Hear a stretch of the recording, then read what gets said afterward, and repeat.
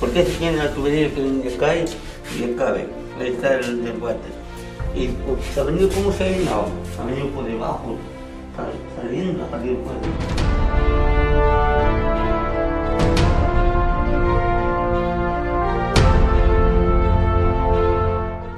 Buenos días, señor Julio. Agradezco su presencia acá en Chicamita para decir lo siguiente, que el día de ayer este, empezó a rebalsar el agua, era poco, poco, pero ya más tarde ya era peor. Se llenó toda mi casa, se llenó todo mi corral, todos mis animalitos mojados ahí.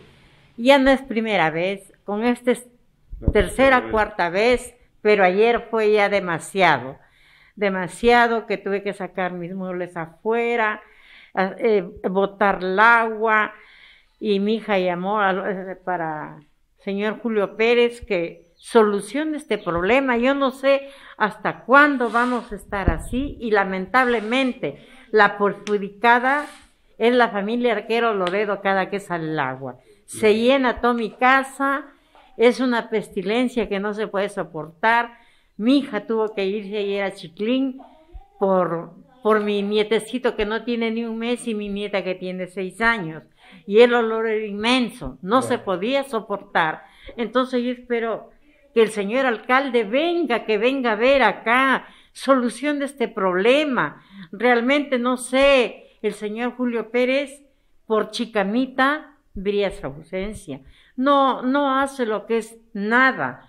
Yo no sé qué, qué, qué es lo que espera el señor ingeniero Julio Pérez que no solucione este problema. ¿Hasta cuándo vamos a estar así? Y lamentablemente, como lo digo, acá en mi casa soy la perjudicada. Eh, mi hija dijo que iba a ir al consejo. Yo sí hubiese querido ir, pero si estoy segura de que él va a estar ahí, porque no para. Entonces, ¿con quién voy a hablar yo allá? Yo tengo que hablar con el alcalde, que él mismo venga, vea acá. Ahora el señor de servicios públicos ha sido cambiado. Bueno, el señor Manuel ya no está, está el, ingeniero Roque Guarniz.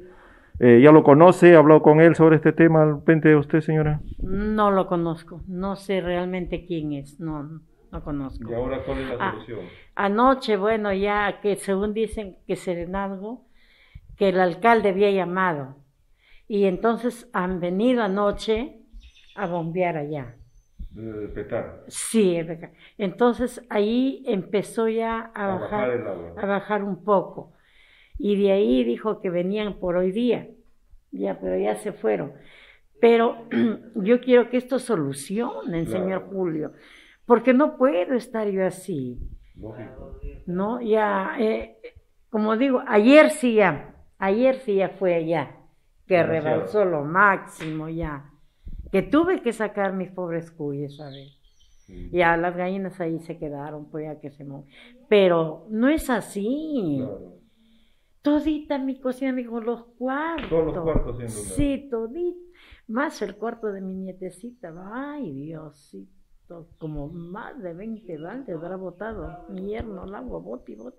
Vuelta mi esposo acá de la sala, bote y bote. Y yo que yo no le podía ayudar, porque como que no puedo. Pero ya como sea, ya botaron el agua, tuve que limpiar, echar lejía, echar ácido para, para la pestilencia, desinfectarlo. Y como digo, no, ya eh, espero, no sé, no sé cuál es su pensamiento del alcalde, pero él debe dar solución de una vez esto, porque a mí me perjudica, a mí en mi casa me perjudica. Otras casas no, porque yo pregunto, no, yo realmente soy yo, yo soy la única.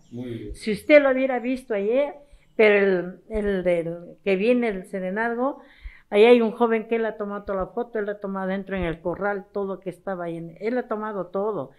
Dijo que él iba a dar su informe para que le digan, le digan al alcalde, seguramente, ¿no? Pero ya ellos ayer, ya, ya está para que lo... Claro, muy bien, señorito. Muchas gracias. Ya, señor Julio, muchísimas gracias, señor Julio.